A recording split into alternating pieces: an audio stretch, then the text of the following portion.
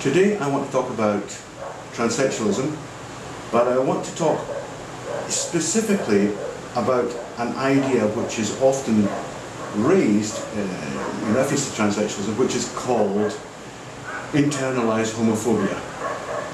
Now, this is a very important concept to get to grips with, and we're going to spend some time on it. But before I get there, I want to have a little word about context, because this has become increasingly an issue. Now, I can't remember which one of that wonderful duo, Gilbert and George, who were uh, performance artists of the 1960s and 70s, I can't remember which, whether it was Gilbert or George who said, context is everything. Now, funnily enough, in the visual arts, context is not everything. It's absolutely the opposite, in fact. Art has got an internal, innate value system. Everybody knows what good art is. So Gilbert and George were wrong there. But in many other parts of life, this idea that context is everything has become absolutely central to our thinking. It's a core part of postmodernism, which understands that there are no absolutes. You know, everything is relative, and so the context is always really important. Now, why is that important to the discussion of transsexuals and internalized homophobia? Well, earlier this week I had a, on a Twitter spat with a person called Dr. Amitay, Oren Amitay, his name is. Dr. Amitay has much in common with a number of other, uh, shall we call, professional psychologists, clinical psychologists, working in this or related fields, right? And they present themselves as being expert. They always do. They are. They, that's that's what they consider themselves to be because you know they call themselves professors. They're not actually they're, they're university lecturers. A professor is actually someone who chairs a department but, you know, this is the language they use to try and demonstrate their authority. But what they never tell you is that their opinions come entirely from a postmodernist standpoint. Now you see, Gilbert and George, whether it was Gilbert or George, they made that statement around about 1969. And by that time, the corruption of certain disciplines within academia were, was already well underway. Um, the attack had already commenced. Okay? And now we come forward, you know, nearly 50 years in the future, and postmodernism is de facto the context within which the entirety of the humanities, the arts, and the social sciences are being discussed in academia, in the West End.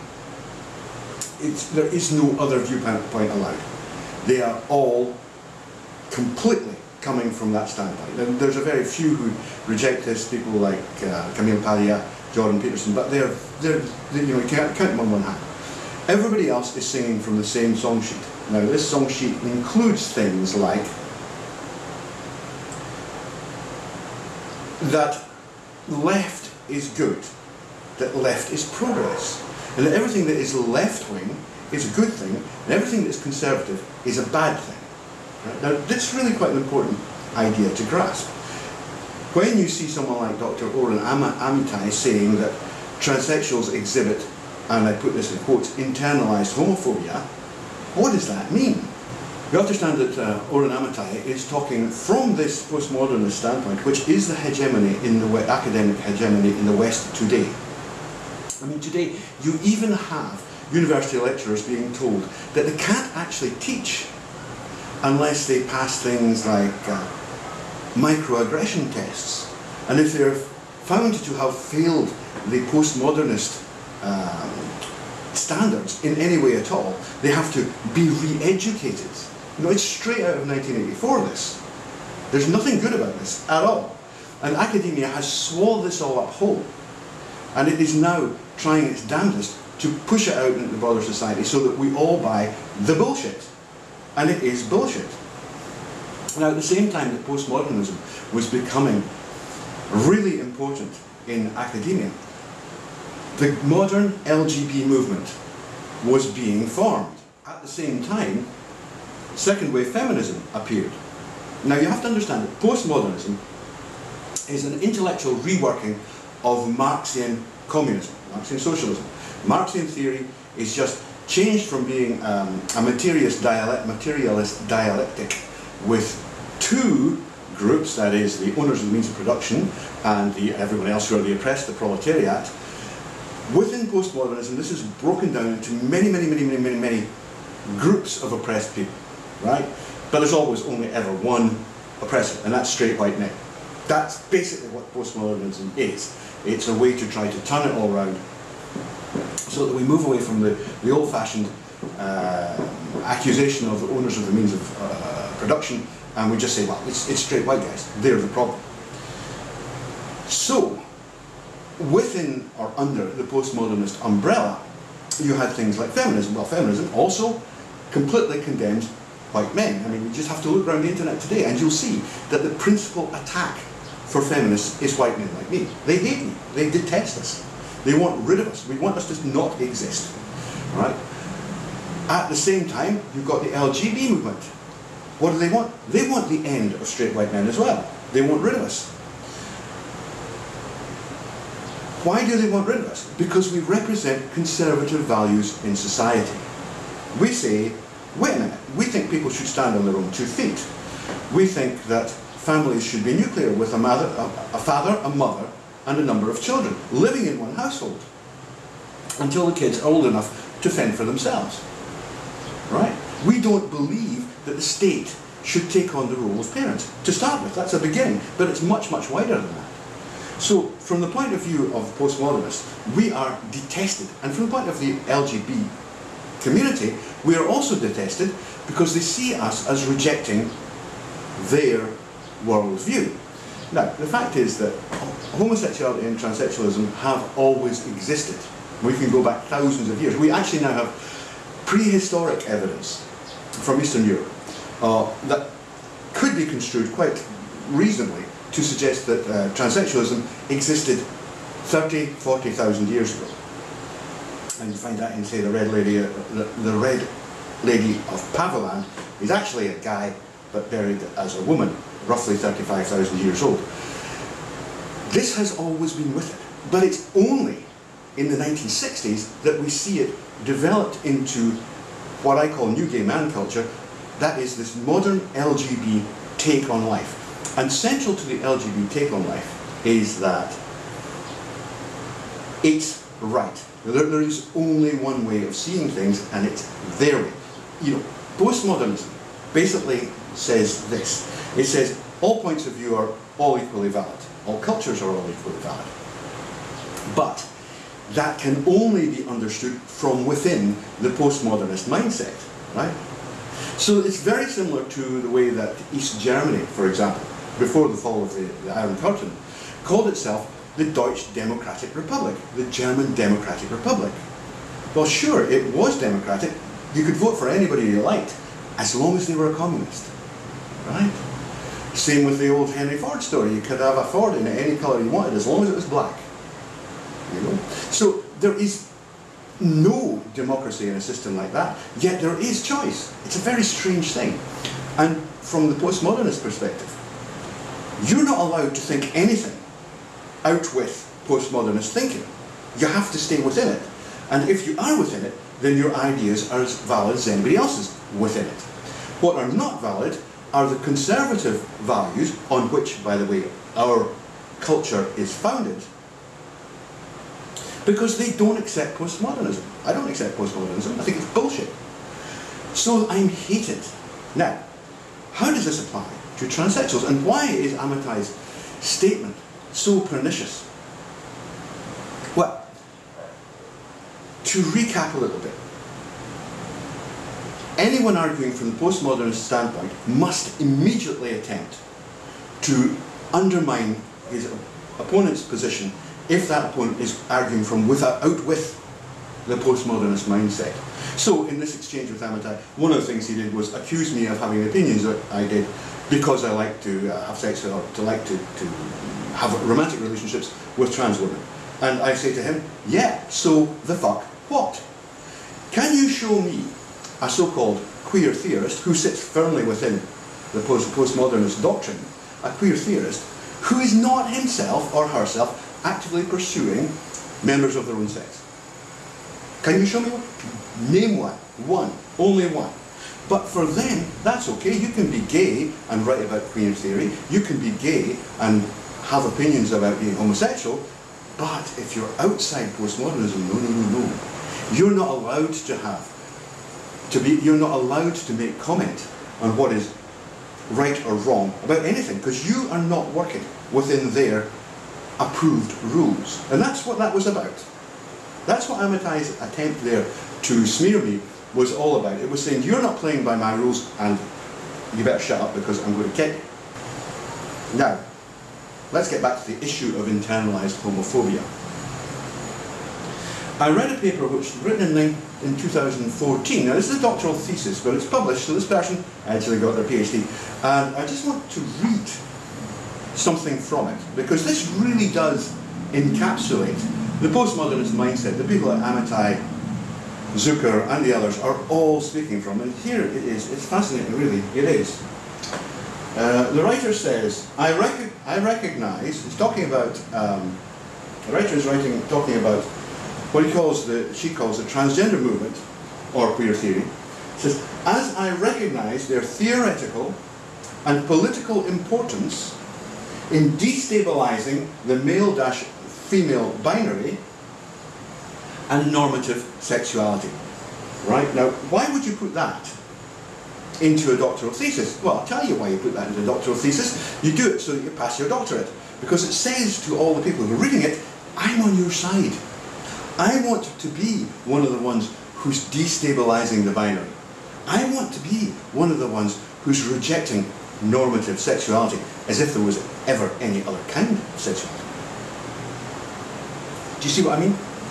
That is why context is important. That is the context. She set out the context of the whole paper. She says, this paper is not going to challenge the essential concepts of the postmodernist movement within academia because I set out with you to destabilize, destabilize the male-female binary and normative sexuality.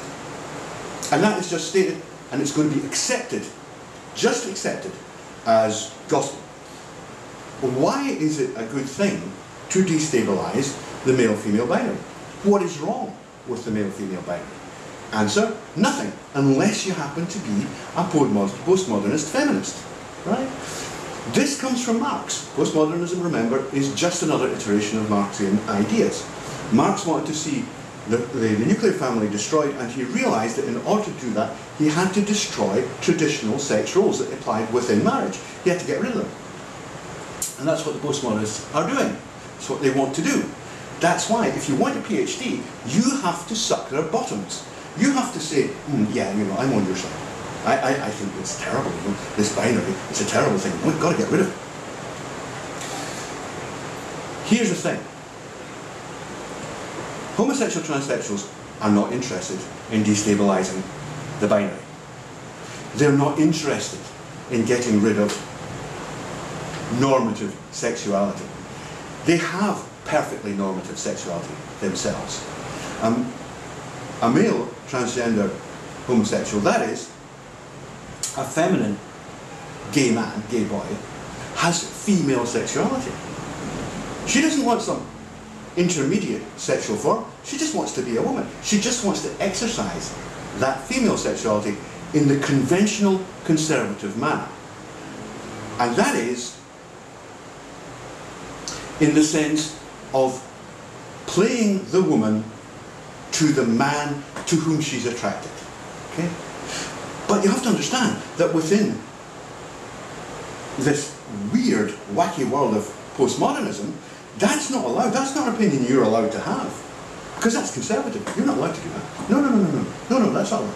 You're, not, you're allowed to have any sexuality you want as long as it's not a normative one. Okay? As long as your sexuality does not challenge what these people want to prescribe for you. Now, since the 1960s, we have seen immense pressure placed on feminine homosexual males, that's transgender homosexuals, to not be feminine. And the, the, pressure is massive. You know, I have so many emails here from people in this position who, who are terrified. that If they, are, if they present as they want to present, they will be ostracized by the gay community and they'll get brickbats from the straight community. Who, to whom can they turn? Nobody. They can go nowhere. They're basically eliminated from society by the mainstream society, but also by the new gay man LGBT hegemony. We'll get back again to the 60s and the work of John Money. You'll see many papers from Money in which he references this idea that, as far as he can see, uh, homosexuality, and talking about male homosexuality here, was caused by some sort of imbalance in uh, testosterone that was delivered in the womb. So that basically, the, the, the fetus did not masculinize the way it should, and that this, consist, this persisted into uh, childhood and adulthood. Now, Money had some other ideas that got him in a lot of trouble, um, which was that basically that um, gender identity could be shaped in uh, or, or, conditioned in the sort of pre-five-year-old age range. Um, and unfortunately, he didn't seem to realise that gender is actually a function of sexuality. So if sexuality is affected or conditioned by the way that your um, hormone balance is delivered in womb, then your gender follows that. And unfortunately, Money didn't seem to understand that, and that's caused him, that caused him eventually to lose his career.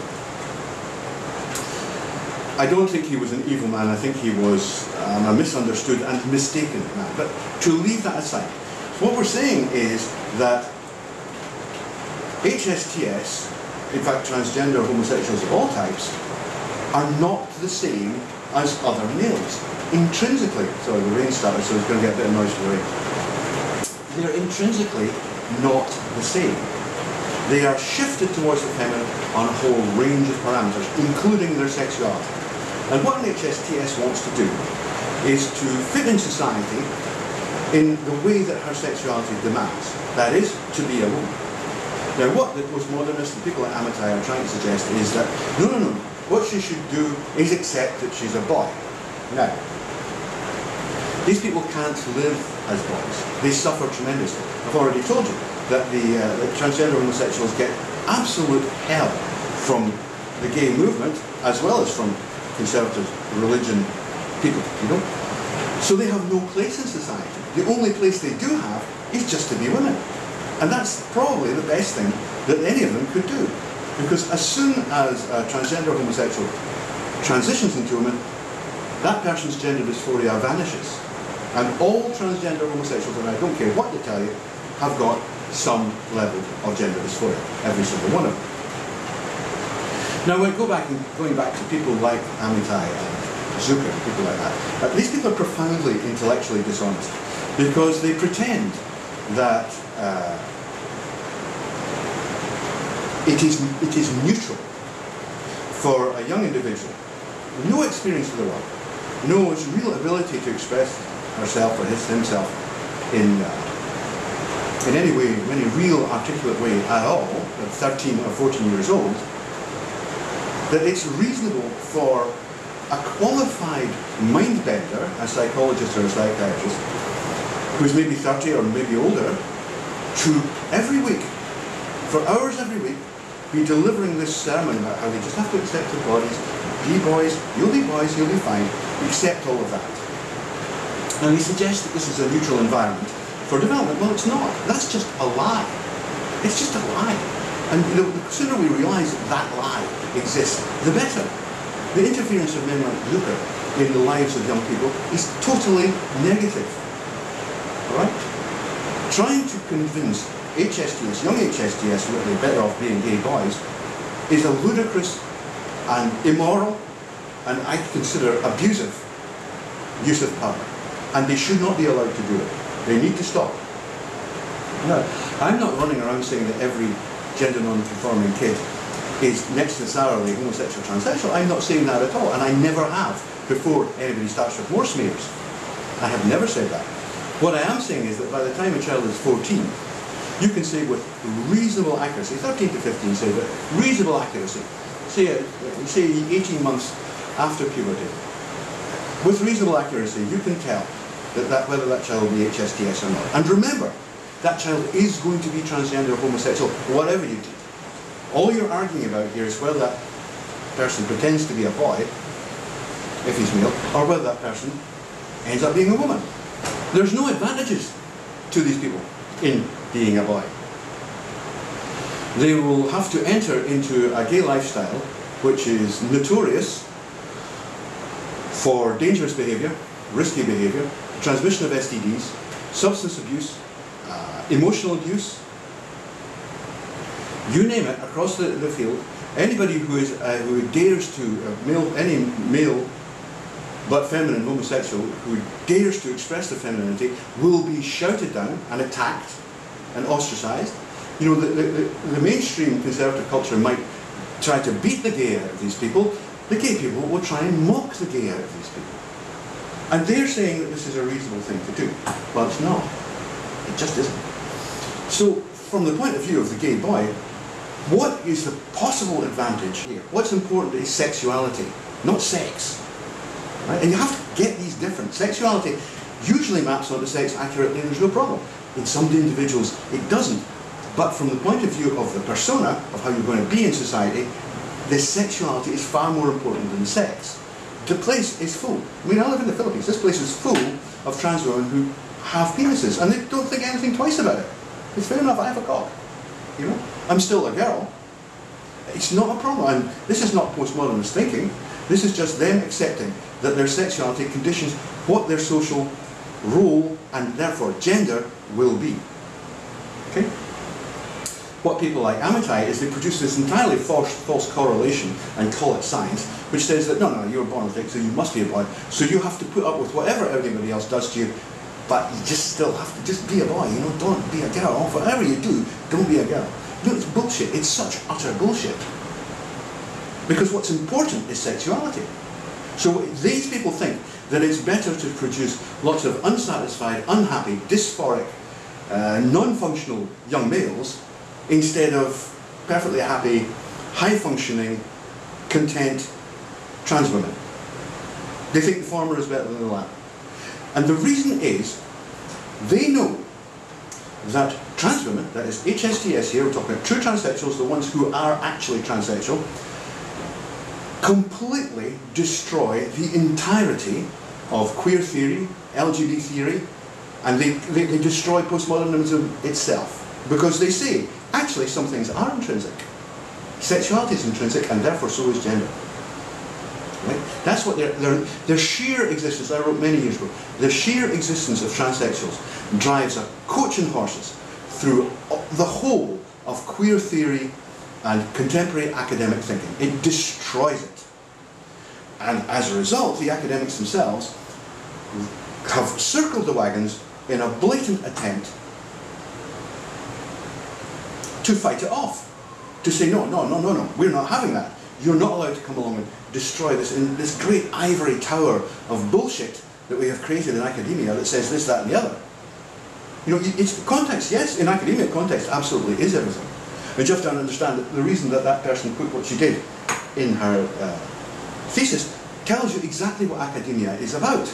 It, they're all liars, certainly in the, the humanities, the arts and the social sciences. It's based on conforming to what other people have already said.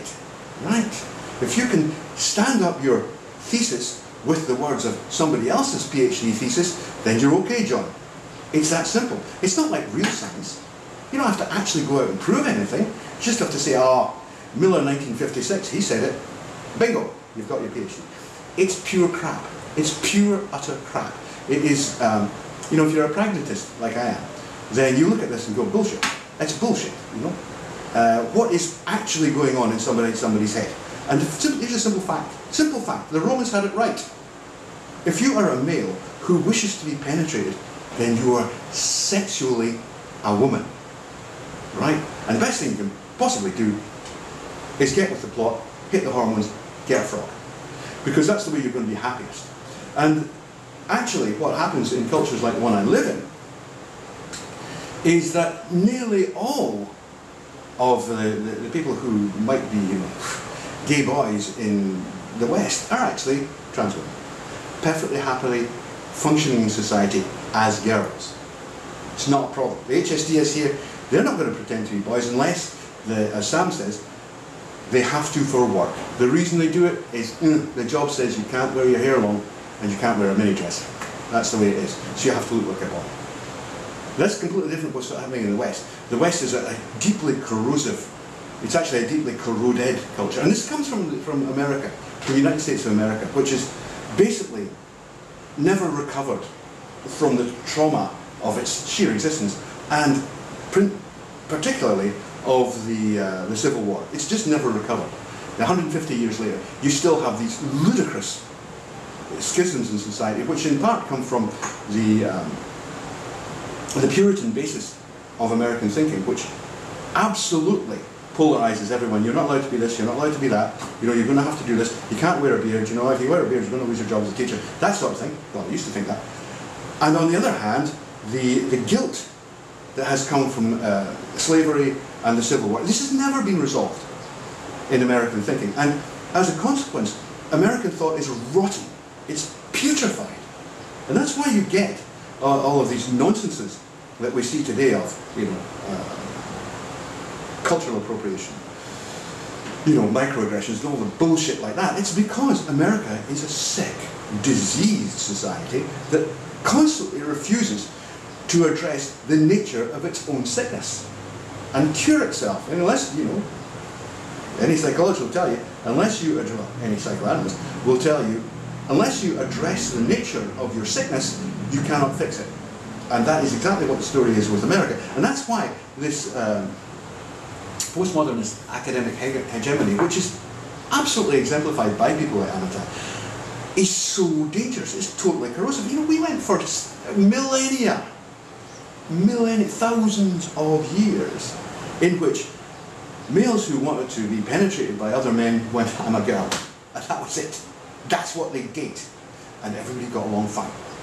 It's only since the 1960s that this nonsense has appeared in the West. Now, okay, I don't mind if you're, you think you're LGBT, fine, good for you. You, you, you know, you plough your own furrow, paddle your own canoe. What I am saying is, lay the fuck off HSTS. Stop trying to brainwash them into thinking that they're actually boys. Because they're not, if they're males. And the same is true of the other way around. Now, I'm not talking here about ROGD. I'm not talking, which, by the way, is not actually gender dysphoria at all, but never mind. I'm not talking about uh, autogynephilic transvestites who do everything they can to muddy the waters and who are not transsexual. I'm talking about homosexual transsexuals. Homosexual transsexuals do not have internalized homophobia. They just want to be the, the women that they actually are. Right? They don't want to adopt this mantle of politically correct gay lifestyles, they don't want to be the ones who are destabilizing the male-female binary. They love the male-female binary, they just want to be the female part of it. So what is happening here is that HSTS essentially, and men are not like me, by the way, essentially iterate a conservative social viewpoint. We say, no, no, we, okay, my girlfriend is a cock, so what? She's, as far as she's concerned, she's a girl, as far as I'm concerned, a man, it's a straightforward heterosexual relationship. And they detest this. They hate it. Because it's like, oh, but you have to uh, accept your queer identity. Like, fuck I do. No, I don't.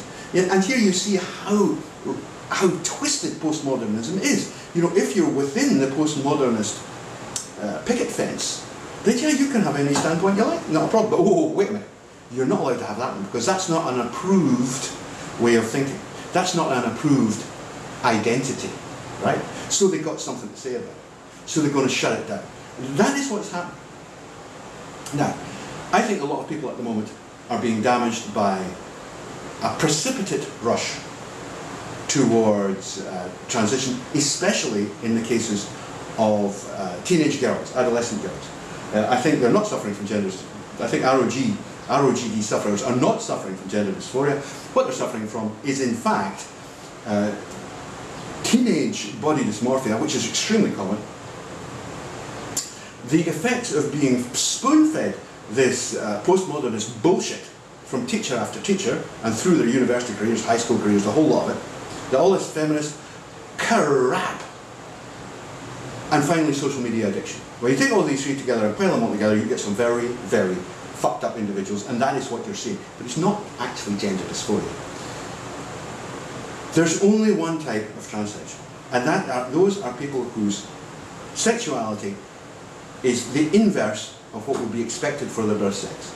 Right? They are transsexual. They transcend their sex. Transvestite, AGP transvestites, they're not transsexual. They're, they're, they're blokes in frocks, tiffs, tiffs and skirts. They're just guys who want to look like women for sexual, for, for the reasons of um, their sexual paraphilia. They're delusional. And it is unwise to cater to delusional people. We shouldn't be doing it. HSTS, when they transition, are becoming what they actually are. Because they're bringing, bringing their gender, that is their outward uh, presentation, right, their persona, in Jungian terms, into line with their sexuality. And your sexuality is everything that you are. It's everything. You know, the I know Americans, oh no, it's not about sex. I don't care what you think. You get off your puritanical boat. It's been 400 years. Get off it. Sexuality is what drives you as a human being. You only have two primary instincts, survival and sex. Right? That's it. There's nothing else there. Everything you do is about sexuality.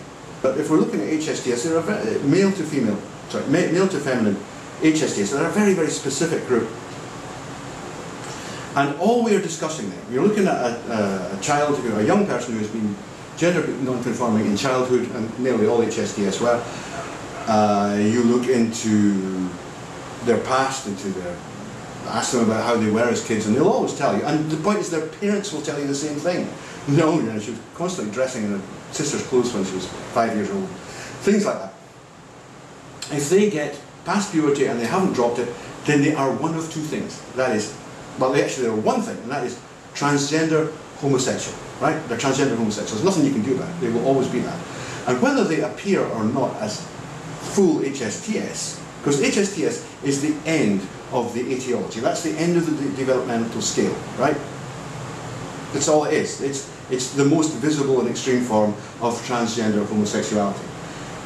HSTS basically reject all of the postmodernists, the LGB, new gay man bullshit, not because they reject being homosexual, they know they're homosexual. If you ask them, they'll tell you, oh yeah, I'm homosexual. But I'm not going to be one of these people. You know, I'm just going to be a woman and get on with my life. And that is what they do. And you have to understand that people like Amitay and the others like them, people like uh, like Zucker, and unfortunately, I think even Mike Bailey thinks this, and I really rate Mike Bailey. I think he's a very decent honest man. They seem to have bought into this absolute bullshit.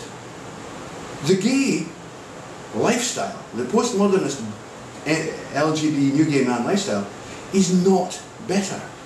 It's a, an artifact of the 1960s. If you look any, and, and uniquely in West Coast America, really, if you look anywhere else in the world, anywhere through history, it doesn't apply. It's not there. Now, the postmodernists, of course, will turn around and tell you that all cultures are equivalent. There's no culture better than another culture. But what they do here, exactly what they're doing here is saying, ah, wait a minute, but uh, LGBT culture is better than conservative, traditional sexual roles. That's what they're saying. So yes, again, it's the same old horseshit. You can only think what you, you can, you're only allowed to think for yourself as long as you're thinking inside the postmodernist mindset. Within, the, within inside the parameters that postmodernists set for you to think inside. And HSTS drive a coach horses through that. They just say, fuck you. Fuck you big time. Because we're not going to do it. We're going to hit the moons, get the dresses, do the hair, and find a nice man to settle down with. They don't want to be part of some uh, culture that is famous for promiscuity, risky sexual behaviour, transmission of STDs, substance abuse, emotional abuse, you name it. You name it. They don't want any part of that. That's, that's not internalized homophobia, that's common sense. That's why would I why would I be part of that when I am good enough looking to pass as a woman?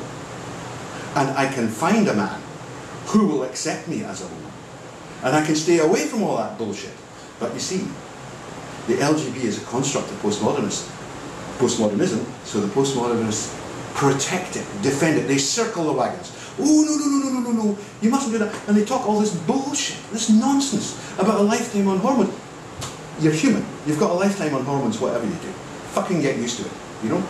There's no increased risk from taking estrogen than a woman would have. You know? MTFs on estrogen have a higher risk, it's true, of breast cancer, because it's an estrogen cancer. It's in line with what women risks, women's risks are. Trans men on testosterone have an increased risk of, of heart disease, just like natal men. What about that? What a big surprise, you know? Is this a big deal? No, the hell, it's not a big deal. And then they go on to the bullshit about the surgery. Well, I'll tell you, the first thing to notice is that most HSTS never have surgery. They're walking around with their cocks still on. And they just get around it, you know? Because sex is about how you pleasure each other. And, you know, they want, they like to be penetrated anally. So that's fine. For some, that's not enough. But for most, it is. And for those who want to go the full way, then they should be allowed to do that without any nonsense. Because this is not a lifetime of surgery, as we see on, on, on, on transphobic websites like Fourth Wave Now. This is one operation, one operation usually, followed by a year of uh, dilation using a thing called a stent. We're talking male to, to, to feminine here, which ensures, just like wearing a keeper if you have a pierced ear, by the way, which ensures that the whole thing doesn't heal up again. You have to do that for about a year. Then after that, that's it. You live the rest of your life as a woman. You know, you take your HRT, it's the same as women do who've menopause and want to. It's not a problem. There's no problem. There's no lifetime of surgery. You don't have to keep going back to the surgeon. Once it's installed and it's working, it's installed, it's working, you leave it alone. Some surgeons, by the way, like to do the surgery in two stages. They like to do the, um, the, the, big bits, uh, the functional parts first, let those heal up, and then come back in and detail up the, the, the labia, etc., so that they can get a better look. Others go, well, rather than have two operations, we'll just have one. The point is, after that initial one or two surgeries, that's it. You don't have to go back. As long as you're successful, your surgery has been successful, that's it. So a lot of these arguments that are being talked about are complete bullshit. You know, you know it's just as bad, it's just as um, illogical and as presumptive as the kind of attitudes you get from Christians. You know, they're just exactly the same. You must not do that because, you know, it doesn't suit us. That's basically what these people are saying. And they'll, they'll insult you, they'll say, oh, you only think the way you do because you, uh, you like chasing trans women. Well, yeah, I do like trans women. But at the same time, thank you very much, but I do have an advanced degree myself, and I've been a journalist for these last 30 years. I think I am able to look and read at the fucking literature and interpret it. That's my job. Your job is not, it is not to try to condition people to reject their own sexuality, which is what you're trying to do. Every time you say to an, uh, an MTF, a young transgender homosexual, ah, mustn't be a, mustn't be a woman, oh, don't be feminine, you're trying to condition their sexuality. They're, you're trying to condition them to desire gay men rather than straight men. That ain't going to work. Promise, it ain't going to work. That's exactly why you have the hundred buttons looking for a top. These people are not, there's no possible way that these people can achieve emotional, sexual satisfaction with another gay. You know why? Because they regard it as a lesbian relationship. What they want is a real man, a real straight man. Right? So, we're onto you. We are definitely so onto you, you have no idea. And it's high time that people started getting in about it and saying, on behalf of the HSTS, that these people need to back off. Back right off, because we are going backwards now. You know, uh, it's not that long ago that I thought that we reached a point where, in the West, where young HSTS were just going to be able to go, right, fine, I need my, my hormones, I'm going to change, get my hair, bada bada, and just do it, and it wouldn't be a problem put in the way. You know, I didn't like what happened to Kenneth Zucker for the way that it was done, but I thought it was high bloody time something was done. Now we've got these people coming out of the woodwork, pushing their postmodernist hegemonistic ideas of, of how other people should behave and run their lives. That's what they're doing. And saying, you can't do this, you can't do that. Oh, you haven't been, so you've got to be a boy. Bullshit. It's not about what your body is, it's about what your sexuality says you are. You, and you, you guys have to understand that. Every time you say to someone, oh, I can't do that, I can't be a transsexual, then you're engaging in reparative therapy, and that is immoral and unprofessional.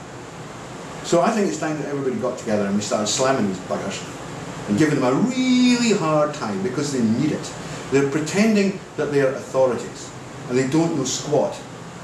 You know, you've got people here who claim that there, oh, there's no AGPs in Southeast Asia or South America. Have they ever been to Southeast Asia or South America, I ask myself? And the answer is no, they have not.